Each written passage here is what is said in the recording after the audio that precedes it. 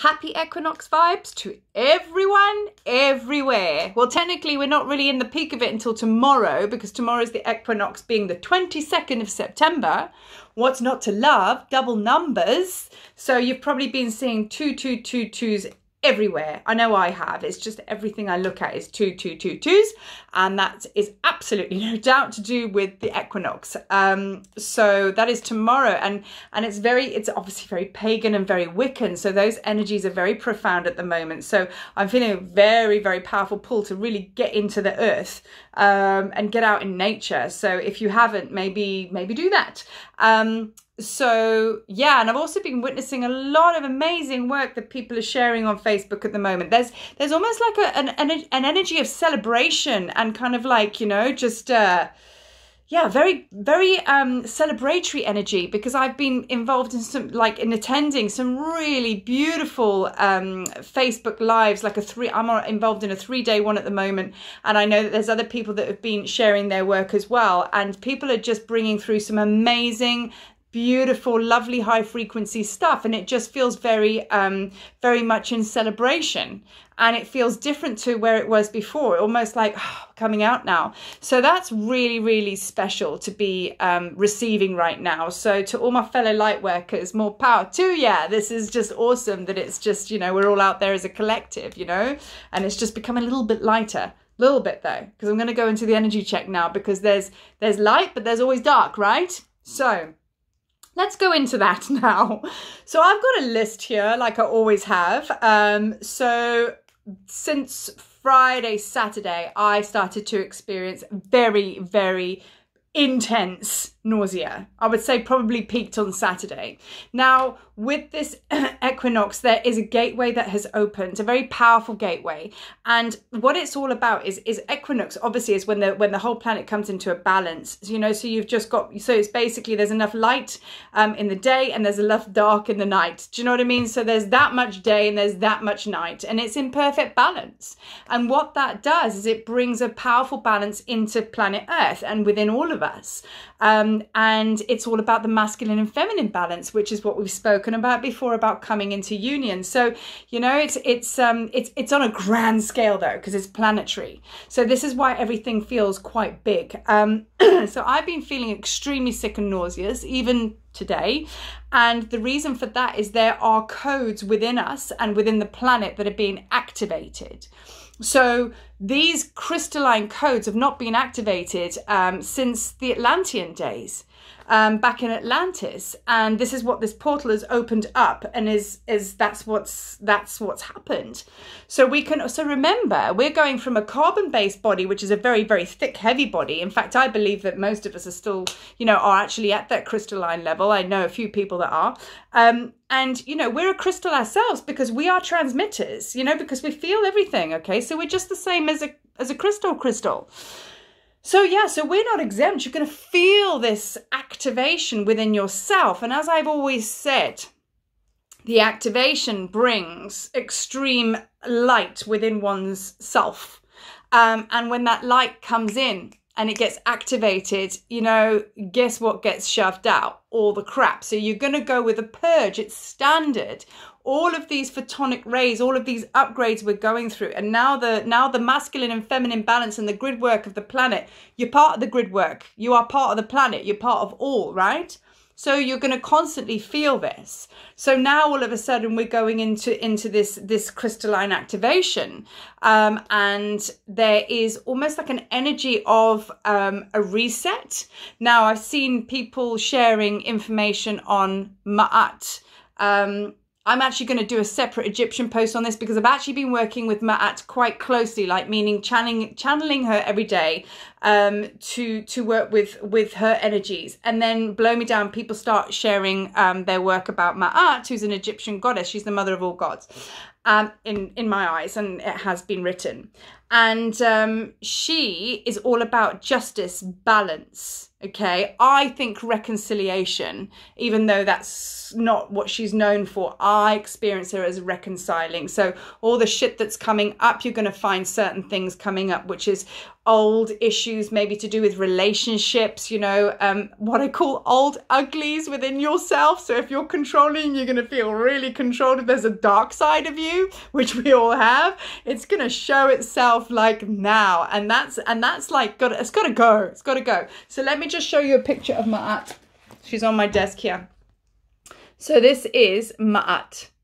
Okay. And she is you can see there, she's got her, that there is an ostrich feather and the heart.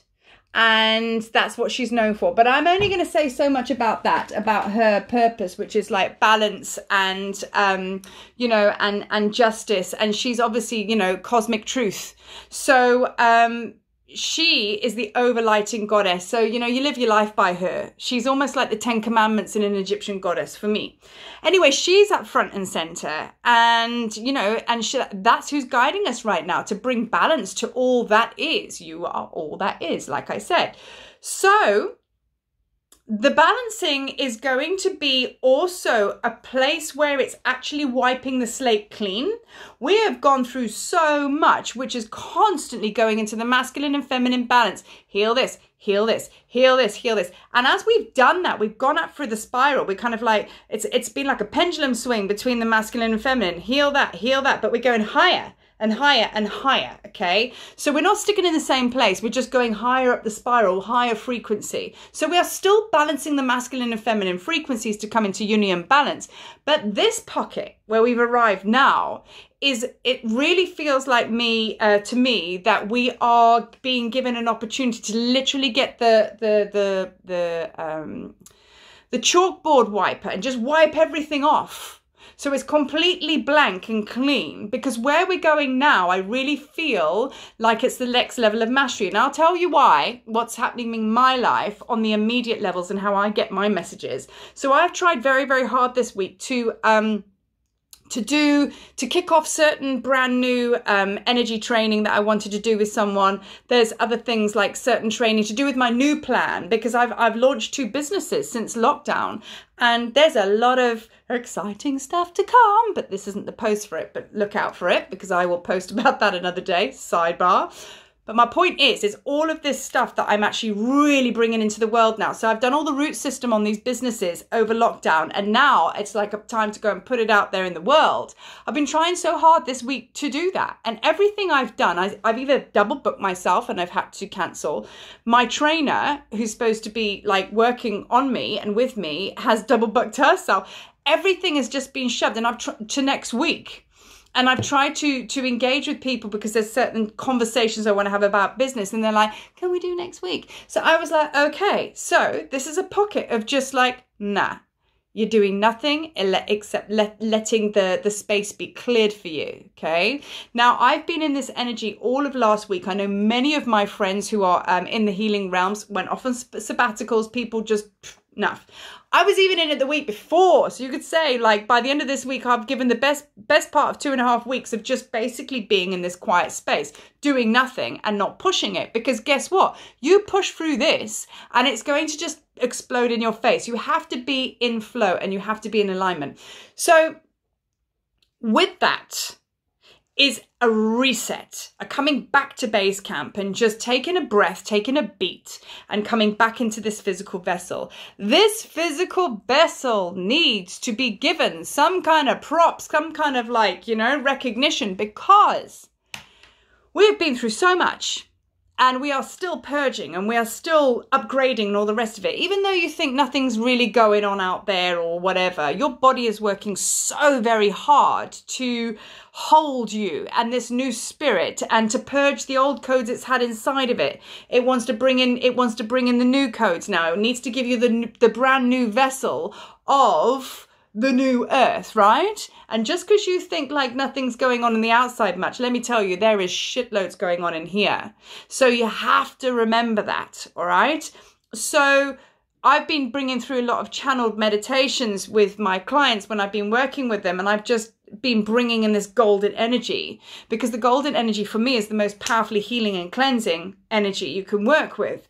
And I've just been almost just like, you know, soaking the body just like with this golden energy and just like soothing, like softness. And I've been bringing through a lot of the Magdalene's energies. If you look on my Facebook page, um, I actually released a, a Magdalene um, restoration, rejuvenation. It was all about restore, restore, just rest, you know, and that's where we're at right now. And I mean, you guys know me by now. I'm like a hill sprint kind of light worker. I'm like, go, go, go, go. Let's, you know, go big or go home.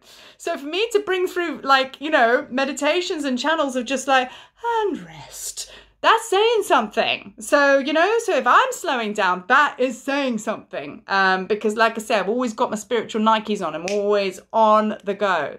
So this is what I want to share with you right now. We're being brought all the way down to still point. Still point is that neutral space. And that's another thing i want to talk to you about as well is neutrality. That's what's happening with this balance. I've been working a lot with finding the neutral place. You've got your masculine and your feminine right? But the the neutral place to that is your heart Okay, so that's a new, that's an example of the neutral place. You know, there's a, there's um there's so many examples in our life which is basically showing us how to come to this neutrality. And this is the thing: you can't have this pendulum swing all the time. Spirit is putting its hands and and and holding the pendulum there, and just stilling, just stilling everything. Just take a beat and breathe.